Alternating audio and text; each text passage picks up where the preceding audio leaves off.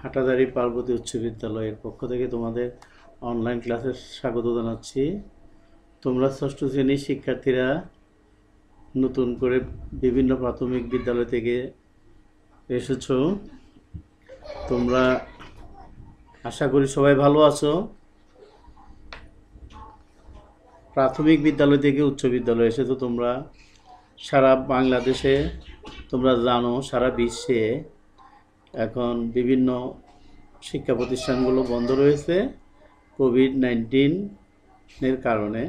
Covid nineteen মানে হচ্ছে corona virus disease nineteen. এটা এই কারণে মার্চ মাসের সতেরো তারিখ থেকে বোধহয় বিদ্যালয় বন্ধ শুরু হয়েছে এবং দুই হাজার বিশ সাল পুরোটাই গেল। একুশ সালের ফেব্রুয়ারি মাসের আজকে উনিশ তারিখ।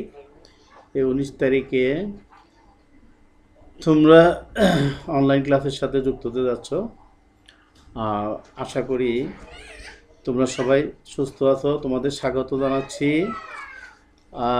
আশা করি তোমরা সবাই ভালো আছো এবং অনলাইন ক্লাসগুলো তোমরা খেয়াল করবে প্রতিনিয়তই। আচ্ছা তোমাদের স্বাগত জানাচ্ছি প্রথমেই। কিছু বৈজ্ঞানিক প্রক্রিয়া পরিমাপের কিছু ছবি দেখিয়ে, দেখো ছবিতে। তোমরা প্রাথমিক বিদ্যালয়ে এই ধরনের ছবি দেখেছ। তোমাদের স্বাগত জানাচ্ছি, জানাচ্ছে একটি দুটো শিশু। একটা শিশু পরিমাপ করছে কাছের জার দিয়ে, আরেকটা শিশু একটা পতাকা বা পাখা উড়িয়ে তোমাদের স্বাগত জানাচ্ছে। আচ্ছা আমি অরুণ কান্তি মজুমদার, হাটাদারি পার্বতী মডেল সরকারি উচ্চ বিদ্যালয়ের সহকারী শিক্ষক। তোমাদের প্রথম অধ্যায়ে বিজ্ঞান ক্লাসের প্রথম অধ্যায় বৈজ্ঞানিক প্রক্রিয়া ও পরিমাপ। এই বৈজ্ঞানিক প্রক্রিয়া ও পরিমাপ নিয়ে আজকে আমরা আলোচনা করব। প্রথম, প্রধানত পরিমাপ নিয়ে আমরা শুরু করব। আসো, ছবির ঘটনাটি দেখো। কেমন? একটা ভালো কী করছে? একটা টেবিল, তোমাদের পড়ার টেবিল। পড়ার টেবিলে সে কীভাবে মাপছে? খেয়াল করো। পড়ার টেবিলে সে দূর, উপরের অংশের দৈর্ঘ্য মাপছে কীভাবে মাপতেছে খেয়াল করো। একটি মাপার ফিতা পরিমাপের একটি ফিতার সাহায্যে, যেটি তুমি দেখতে পাচ্ছ এক, দুই, তিন, চার, পাঁচ এরকম লেখা আছে। সেন্টিমিটারে সে পরিমাপ করতেছে, সেন্টিমিটারে সে দৈর্ঘ্য পরিমাপ করতেছে। ছেলেটি টেবিলের দৈর্ঘ্য মাপছে সে, তাই তো? তোমরা ছবিতে দেখতে পাচ্ছ ছেলেটি টেবিলে দৈর্ঘ্য মাপছে।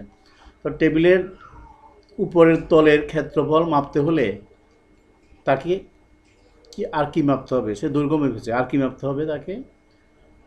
আর আর মাপতে হবে, বুঝতে পেরেছ তোমরা, টেবিলের প্রস্থ মাপতে হবে। তো টেবিলের প্রস্থ মাপবে সে। তো তাহলে টেবিলের দৈর্ঘ্য মাপতে কয়টি এককের দরকার?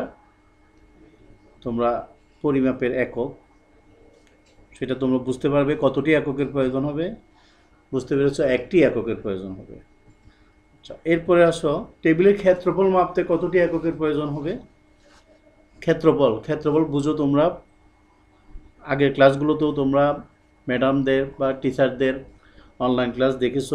অসংখ্য অনলাইন ক্লাস করেছে তোমাদের প্রাথমিক বিদ্যালয়ের শিক্ষকরা, সম্মানিত শিক্ষকবৃন্দ।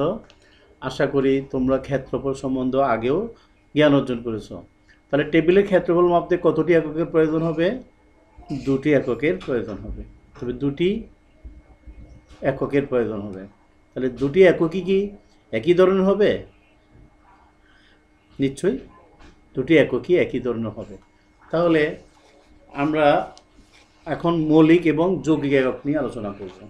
মৌলিক একক এবং যৌগিক একক। মৌলিক একক কী এবং যৌগিক একক কী? আচ্ছা এরপরে আসো তাহলে বন্ধু শিক্ষার্থীরা, আমরা এই পাঠ শেষ করে তোমরা কি শিখতে পারবে? এই পাঠ শেষে তোমরা মৌলিক এককগুলো উল্লেখ করতে পারবে, যৌগিক একক কী তা ব্যাখ্যা করতে পারবে, পরিমাপের আন্তর্জাতিক এককগুলো তোমরা উল্লেখ করতে পারবে। আবার বলছি, তোমরা মৌলিক এককগুলো উল্লেখ করতে পারবে, যৌগিক একক কী তা ব্যাখ্যা করতে পারবে, পরিমাপের আন্তর্জাতিক এককগুলো তোমরা উল্লেখ করতে পারবে। আচ্ছা ছবিতে কি দেখছ তোমরা নিচে? কি কি দেখতে পাচ্ছ তোমরা ছবিতে?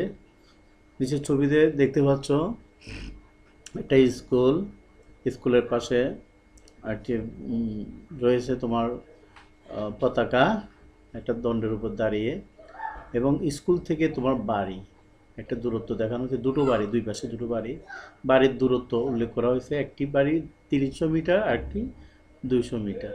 তাহলে স্কুল থেকে বাড়ির দূরত্ব। স্কুল থেকে বাড়ির দূরত্ব, একটা বাড়ির দূরত্ব তিনশো, আর একটা বাড়ির দূরত্ব দুইশো মিটার। তাহলে দুইশো মিটার বা একশো তিনশো মিটার। আমরা দূরত্ব পরিমাপ করলাম, কি দিয়ে আমরা দূরত্ব পরিমাপকে আমরা কি বলতে পারি? দূরত্ব পরিমাপকে আমরা বলতে পারি দৈর্ঘ্যের পরিমাপ, দৈর্ঘ্য পরিমাপ। তাহলে এই দৈর্ঘ্য পরিমাপ বিজ্ঞানের ভাষায় এইরূপ পরিমাপকে আমরা কি বলতে পারি? বিজ্ঞানের ভাষায় আমরা এইরূপ পরিমাপকে বলতে পারি রাশি। কি বলতে পারি? রাশি। তাহলে দৈর্ঘ্য রাশিটির কয়টা অংশ থাকে এবং কি কি থাকে? দৈর্ঘ্য একটি রাশি, এই রাশির কয়টা অংশ থাকে? দৈর্ঘ্যের কি থাকে? দৈর্ঘ্যের দৈর্ঘ্যের শুধু মান থাকে। দৈর্ঘ্যে শুধু মান থাকে। যেমন দুশো মিটার মান রয়েছে। তাহলে দুশো মিটার। তাহলে দৈর্ঘ্য রাশিটির দুটো অংশ, একটি হচ্ছে মান এবং একটি হচ্ছে একক। তো একটি দুইশো হচ্ছে মান, একক হচ্ছে মিটার। আচ্ছা এবার আসো আমরা একটি ভিডিও দেখব। ভিডিও দেখে আমরা পরিমাপ সম্বন্ধে আরও একটু পরিষ্কার ধারণা লাভ করব। দেখো, ভিডিওতে দেখো একটি বালক দৈর্ঘ্য মাপলো একটা বস্তু ছয় ফুট। দাড়ি পাল্লাতে সে ভর মাপলো, একটি বস্তুর ভর মাপলো, খেয়াল করো। ভরটি এখানে দশ গ্রামের বাটখারা, বিশ গ্রামের বাটখারা। এবং খেয়াল করো, সময়ের পরিমাপ হচ্ছে ঘড়িতে। এটা ডিজিটাল ঘড়ি। এখানে এরপরে দেখো, তাপমাত্রা পরিমাপের জন্য একটি স্কেল, পরিমাপ থার্মোমিটার ব্যবহার করা হচ্ছে। টর্চ বিদ- বৈদ্যুতিক বাল্বের তাপ বিদ্যুৎ বিদ্যুৎ প্রবাহের পরিমাপ করার জন্য একটি এম্পিয়ার একক ব্যবহার করা হচ্ছে এবং এক গ্লাস পানিতে কতগুলো অণু রয়েছে সেটাও পরিমাপ করার জন্য একটি একক রয়েছে। আশা করি তোমরা ভিডিওটি বুঝতে পেরেছ। আচ্ছা এরপরে আসো। ভিডিওটাতে তোমরা কি কি দেখলে? ভিডিওটি কি আবার দেখানোর প্রয়োজন রয়েছে? আচ্ছা ভিডিওটি তোমাদের আবার দেখাচ্ছি দেখো। দেখো একটি বালক বিছানার দৈর্ঘ্য মাপছে ছয় ফুট। দাড়িপাল্লাতে সে বিভিন্ন বাটখারা, পাঁচ গ্রাম, দশ গ্রাম, বিশ গ্রামের বাটখারা ব্যবহার করতেছে ভর পরিমাপের জন্য। তারপরে সে সময় পরিমাপের জন্য সে ঘড়ি ব্যবহার করতেছে। সেখানে মিনিট, সেকেন্ড এবং ঘণ্টা ডিজিটাল এককে রয়েছে। তারপরের এককটি দেখো সে তাপমাত্রা পরিমাপের জন্য একটি থার্মোমিটার ব্যবহার করছে ফারেনহাইট স্কেলে লেখা আছে নিরানব্বই ডিগ্রি ফারেনহাইট তারপরে দেখো সে বিদ্যুৎ প্রবাহের একক মাপার জন্য একটি এমিটার ব্যবহার করতেছে। সেটি এম্পিয়ার এককে দাগ কাটা রয়েছে এবং আলোর উজ্জ্বল মাপার জন্য সে একটি একক ব্যবহার করতেছে, তার নাম হচ্ছে ক্যান্ডেলা আচ্ছা এক গ্লাস পানিতে কতগুলো অণু রয়েছে পদার্থের পরিমাণ? তাকে বলা হয় মোল। আচ্ছা দেখলে তাহলে দুইবার তোমাদের ভিডিওটি দেখানো হলো। আচ্ছা তাহলে ভিডিওতে তোমরা কি কি দেখলে? দৈর্ঘ্য পরিমাপ করা হয়েছে প্রথমে, তারপরে ভর পরিমাপ করা হয়েছে, সময় পরিমাপ করা হয়েছে, তাপমাত্রা পরিমাপ করা হয়েছে, বিদ্যুৎ প্রবাহ পরিমাপ করা হয়েছে, আলোর উজ্জ্বলতা পরিমাপ করা হয়েছে, পদার্থের পরিমাণ পরিমাপ করা হয়েছে। এই রাশিগুলো কি অন্য কোনো রাশির উপর নির্ভরশীল? নিশ্চয়ই, এই রাশিগুলো অন্য কোনো রাশির উপর নির্ভরশীল নয়। নির্ভর করে না। তাহলে এই রাশিগুলোকে আমরা কি বলি? এই রাশিগুলো অন্য রাশির উপর নির্ভর করে না। নির্ভর করে না। তাহলে এই রাশিগুলোকে আমরা কি বলি? এই রাশিগুলোকে বলি আমরা মৌলিক রাশি। তাহলে এবার দেখো, রাশিগুলো পরিমাপ করতে কি কি এককের প্রয়োজন? মৌলিক রাশি পরিমাপ করতে কি কি এককের প্রয়োজন? দৈর্ঘ্যের একক, ভরের একক, সময়ের একক তাপমাত্রা পরিমাপের একক।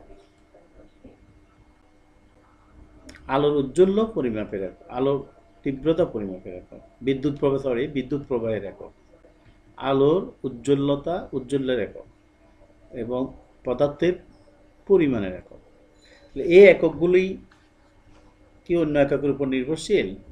নিশ্চয়ই এই এককগুলো অন্য এককের উপর নির্ভরশীল নয়। আর এই এককগুলোকে আমরা বলি মৌলিক একক। অর্থাৎ এরা স্বয়ং সম্পূর্ণ এককগুলো কী ধরনের? এককগুলো মৌলিক একক। আশা করি বুঝতে পেরেছ। তাহলে মৌলিক একক দিয়ে যে একক উৎপন্ন হয়, খেয়াল করো, এই দরজাটি তলের ক্ষেত্রফল কীভাবে নির্ণয় করবে? দৈর্ঘ্য প্রস্থ গুণ করবে। ক্ষেত্রফল কতটি মৌলিক এককের উপর নির্ভর করে? দুটি এককের উপর, এককের গুণফলের উপর নির্ভর করে। তাহলে ক্ষেত্রফল কী ধরনের একক?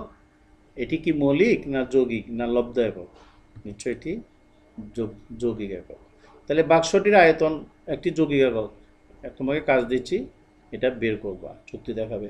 এখানেও দৈর্ঘ্য তিনটি মাত্রা রয়েছে, দৈর্ঘ্য, প্রস্থ, উচ্চতা। দৈর্ঘ্য, প্রস্থ, উচ্চতা পরিমাপ করার জন্য কয়টি এককের প্রয়োজন হবে এবং এটি কী ধরনের একক? আসলে এবার বালকটির উচ্চতা মেপে দেখি আমরা। তো বালকটির উচ্চতা মাপতে গেলে আমরা কি দেখতে পাচ্ছি? দেখো, একটা মিটার স্কেলে আমরা বালকটির উচ্চতা মাপতেছি। খেয়াল করো উচ্চতা মাপে, মাপলাম। উচ্চতা কত হলো? উচ্চতা হলো বালকটির উচ্চতা চার ফুট। উচ্চতা চার ফুট। তাহলে সেন্টিমিটারে যদি মাপি, এটা হলো একশো একুশ দশমিক নয় সেন্টিমিটার। Sorry sorry sorry. সেন্টিমিটারে হুম, এটা একশো একুশ দশমিক নয় সেন্টিমিটার, ঠিক আছে। তাহলে এখানে কয়টি পদ্ধতি? এখানে দুটো পদ্ধতি রইল। অর্থাৎ এখানে একাধিক পদ্ধতি। তাহলে পরিমাপের কয়টি পদ্ধতি থাকলে ভালো হয়? পরিমাপের আসলে সারা বিশ্বে পরিমাপের জন্য একটি পদ্ধতি থাকলে ভালো হয়। তখন তাকে আমরা কি বলি? পরিমাপের আন্তর্জাতিক পদ্ধতি। এসআই বা ইন্টারন্যাশনাল সিস্টেম অফ ইউনিট উনিশশো ষাট সালে এককের আন্তর্জাতিক পদ্ধতি আবিষ্কার হয়েছে বা এসআই একক আবিষ্কার হয়েছে। তাহলে এসআই এককে দৈর্ঘ্যের একক কি? মিটার, ভরের একক কি? কিলোগ্রাম, সময়ের একক কি? সেকেন্ড, তাপমাত্রা পরিমাপের একক কি? কেলভিন, বিদ্যুৎ প্রবাহের পরিমাপের একক কি? অ্যাম্পিয়ার, আলোর উজ্জ্বল্য পরিমাপের একক কি? ক্যান্ডেলা পদার্থের পরিমাণের একক কি? মোল। আশা করি ষাটটি একক মৌলিক একক, এসআই এককে ষাটটি মৌলিক একক তোমরা বুঝতে পেরেছ। তাহলে আন্তর্জাতিক পদ্ধতিতে পরিমাপের মৌলিক এককগুলো হলো এই, দৈর্ঘ্যের একক মিটার, দৈর্ঘ্যের একক কি? দৈর্ঘ্যের একক মিটার বড় একক কিলোগ্রাম, সময়ের একক সেকেন্ড বড় একক কিলোগ্রাম সময় একক সেকেন্ড তাপমাত্রা পরিমাপের একক ক্যালভিন, বিদ্যুৎ প্রবাহের একক হচ্ছে অ্যাম্পিয়ার, আলোর উজ্জ্বল্য পরিমাপের একক ক্যান্ডেলা এবং পদার্থের পরিমাণের একক হচ্ছে মোল। আশা করি শিক্ষার্থীরা আন্তর্জাতিক পদ্ধতিতে পরিমাপের মৌলিক এককগুলো মনে রাখতে পারবে। আসলে এবার আমরা কিছু কাজ করি। আন্তর্জাতিক পদ্ধতিতে আমি যদি বলি তোমাদেরকে লেখো। আন্তর্জাতিক পদ্ধতিতে পরিমাপের এককগুলো লেখো। দেখো, উত্তর পরি মিলিয়ে দেখো। এই যে এটা মিটার। কিসের একক হবে মিটার তোমরা বলতে পারবে? কিলোগ্রাম কিসের একক হবে? সেকেন্ড কিসের একক হবে? ক্যালভিন কিসের একক হবে? অ্যাম্পিয়ার কিসের একক হবে? ক্যান্ডেলা কিসের একক হবে? মোল কিসের একক হবে? আশা করি বুঝতে পেরেছ। এখন তোমাদের মূল্যায়ন করব আমরা, কোন বস্তুটি ভারী তা পরিমাপ, কোন বস্তুটি ভারী? আমরা তা কোন বস্তাটি সরি কোন বস্তাটি ভারী? তা পরিমাপ করতে নিচের কোন এককটি আমরা ব্যবহার করব। মোল, কেজি, গ্রাম না শের কোন বস্তাটি ভারী চাল, দুটো চালের বস্তা, কোন বস্তাটি ভারী সেটি আমরা পরিমাপের জন্য ব্যবহার করব কেজি কেজি, কিলোগ্রাম। এরপরে আসো, পরিমাপের মূল একক কয়টি? পরিমাপের মূল একক কয়টি? তোমরা নিচ্ছে পারবে সাতটি। তাহলে আন্তর্জাতিক পদ্ধতিতে তাপমাত্রার একক কোনটি? তাও পারবে, তাপমাত্রা পরিমাপের একক হবে ক্যালভিন। আচ্ছা আসো, পরিমাপের ক্ষেত্রে ক্ষেত্রগুলো আয়তনের মধ্যে মিল কি রয়েছে আর অমিল কি রয়েছে। আশা করি তোমরা উত্তর দিতে পারবে এবং আশা করি তোমরা মৌলিক এককগুলো উল্লেখ করতে পারবে, যৌগিক একক কি ব্যাখ্যা করতে পারবে, পরিমাপের আন্তর্জাতিক এককগুলো উল্লেখ করতে পারবে। আচ্ছা তাহলে বন্ধুরা, আজকের মতো আমরা ক্লাস বন্ধ করলাম। ধন্যবাদ তোমাদের।